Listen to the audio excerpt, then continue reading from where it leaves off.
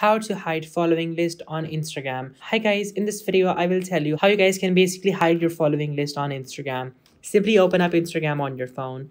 After that, click on the top right on these three lines, then click on settings. After that, simply click on account and then from over here, just simply click on switch account type and then switch to a personal account. Once you guys switch to a personal account, all of your following and your followers are going to be hidden away from the public and nobody is going to be able to view any of that information unless they follow you and you approve their request. So guys, that is how you guys can basically hide your following list on Instagram. Thank you so much for watching guys.